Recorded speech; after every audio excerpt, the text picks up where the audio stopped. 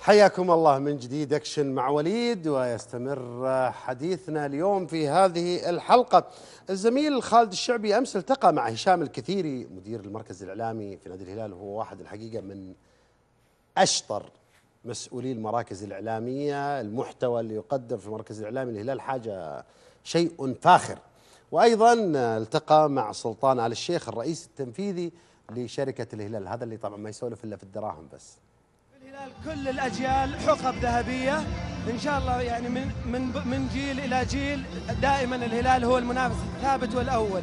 دائما الهلال سابق الناس بخطوات في كل المجالات سواء فنيا أو في مجال مثل ما تفضلت اعلاميا.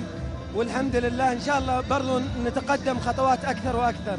أنت مكمل ونقلت ونقلت المركز الإعلامي. أنت مكمل ونقلت المركز الإعلامي. لشيء يكون مفخره بصراحه الله يسلمك. هذه جهود الزملاء معي وقبلي ودائما المركز الإعلامي على مدار التاريخ من تأسس دائما هو المتقدم وهو المتميز. وإحنا امتداد لتألق الزملاء. وإن شاء الله نكون القادم أجمل بإذن الله.